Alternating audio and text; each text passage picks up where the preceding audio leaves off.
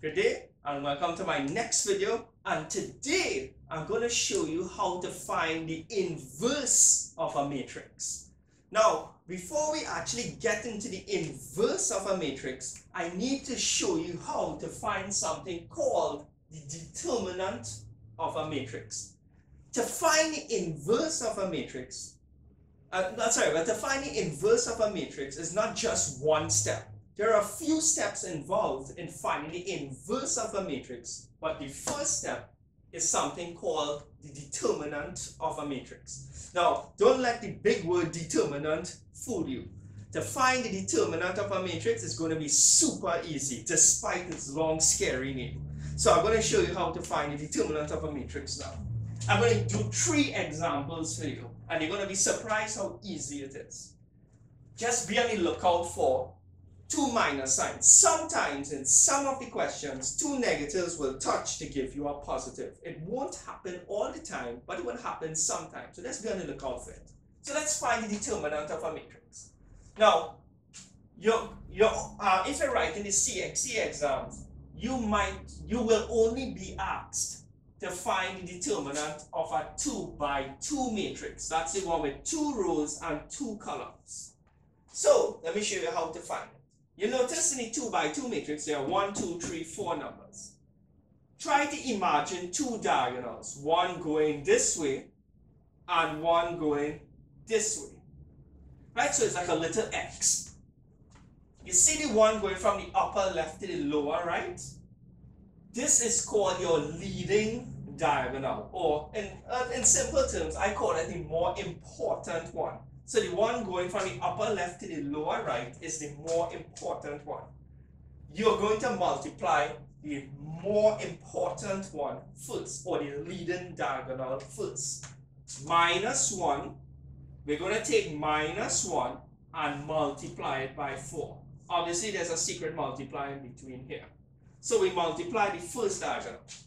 As soon as we multiply the first diagonal, or the more important one, you must, must, must, must put a minus sign.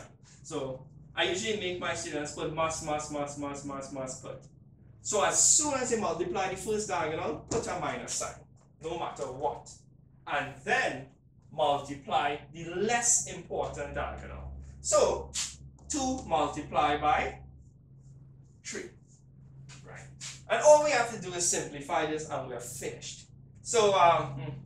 Now of sorry I put so much math signs, but let's hope you can see down here. Minus 1 multiplied by 4 is minus 4, right? Number this minus sign, that's this minus sign. 2 multiplied by 3 is 6. Minus 4 minus 6 is minus 10. We're finished. The determinant is minus 10 for this 2 by 2 matrix. Let's try another one here. Almost the same situation, just different numbers. This is the more important diagonal.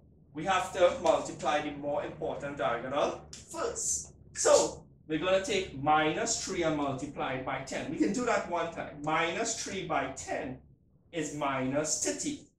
Now, remember this note about the mass, mass, mass, mass, mass?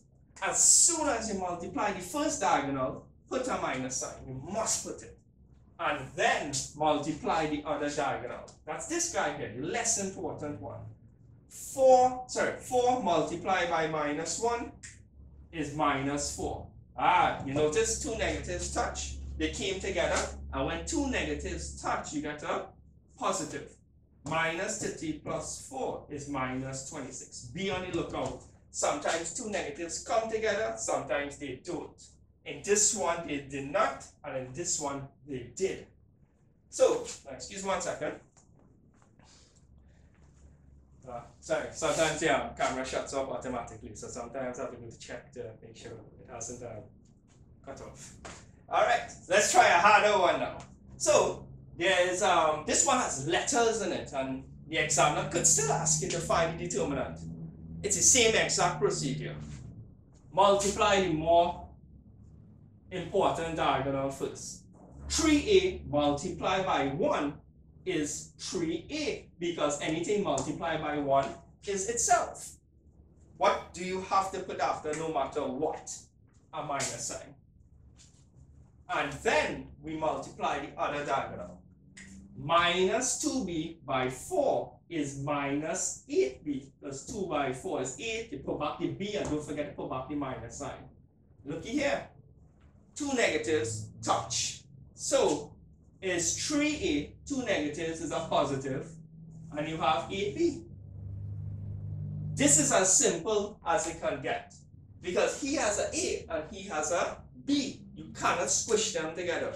So this is your final answer. This is the determinant of that matrix. So now you know how to find the determinant. I'm going to show you how to find the inverse of a matrix now. So let's uh, give me a few seconds just to clear the board here. Right.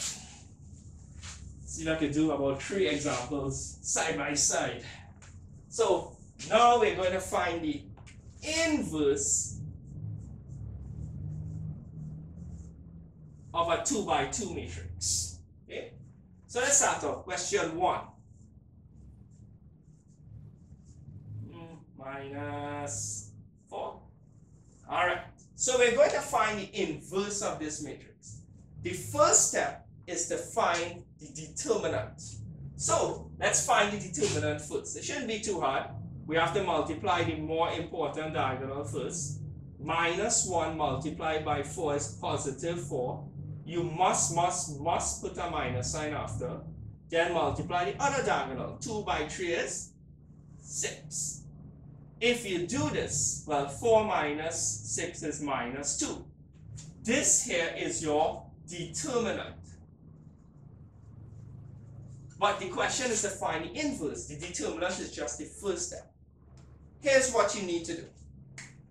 Whatever you get for the determinant, no matter what you get, in today's question we got minus 2, you always throw it underneath a 1.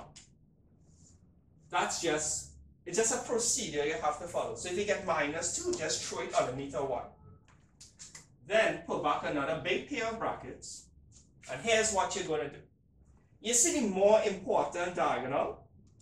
You're going to switch their positions. So the minus 4 is going to jump here and the minus 1 is going to go here. So they exchange their positions. That's for the more important diagonal only.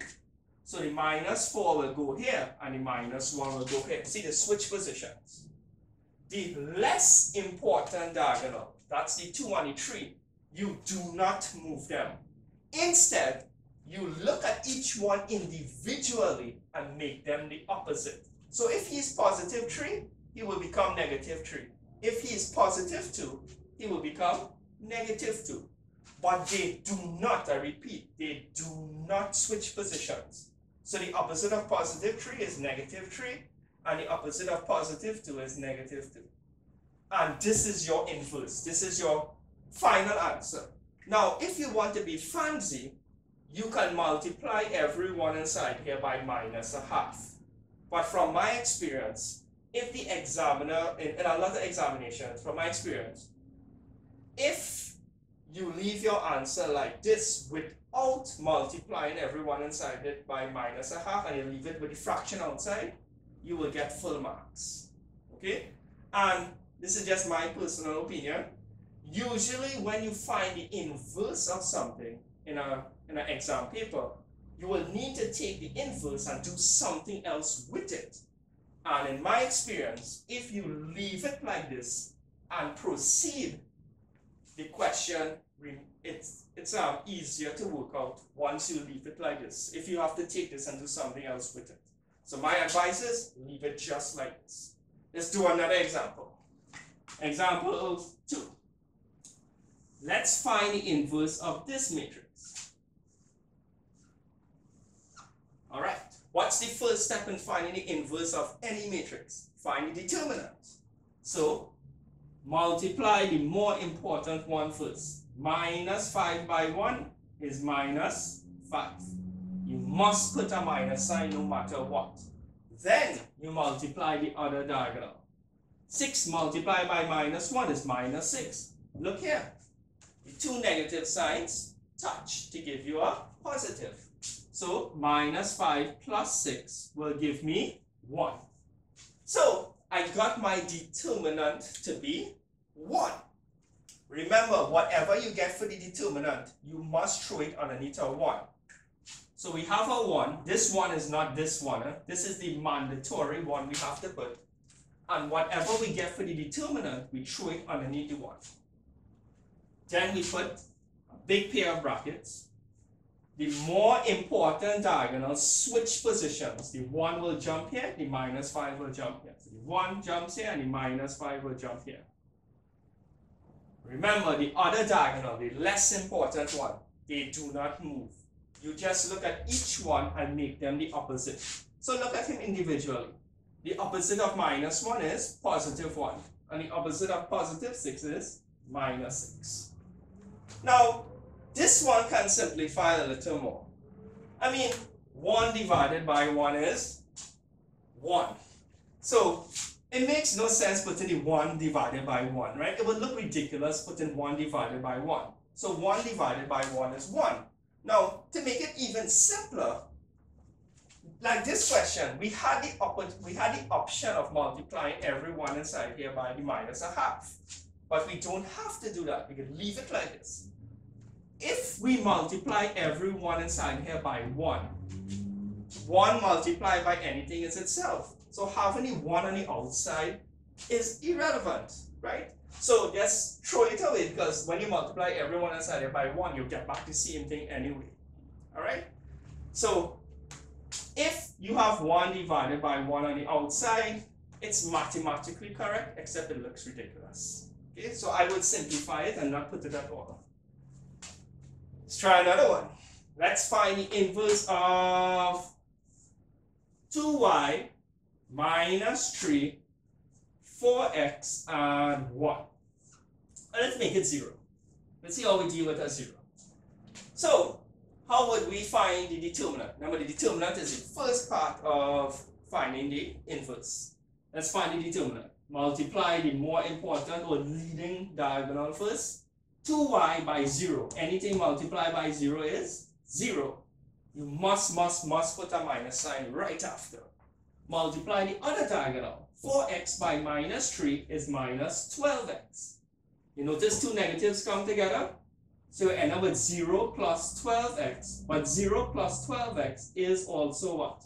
12x. So we have the determinant. The determinant is 12x. To find the inverse, we have to take this 12x and always throw it underneath, sorry, the 12x and throw it underneath a 1. The more important diagonal, you switch position. So the 0 jumps here and the 2y jumps downstairs there. The other diagonal, the less important one, what do we do with them? We make them the opposite, but they do not move. Minus 3 becomes positive 3, and positive 4x becomes minus 4x. And this is your answer. That's the inverse of that matrix. Right? So, in my next video, I'm going to show you how to use matrices to solve a simultaneous equation. There are many ways to solve a simultaneous equations and you can find them in my first set of videos. I think it's from video 7 all the way to video 13 or something like that. You can use um, the XX method, the YY method, the substitution method. Um, there's the I remember if said elimination method already. But there are a lot of methods you can use to solve a simultaneous equation. And you're going to add one more to the list, matrices. So in my next video, I'll show you how to use a matrix to solve a simultaneous equation. So I hope this video was helpful. And don't forget to check your website below for more details. And don't forget to subscribe and share the link. Thank you and have a good day.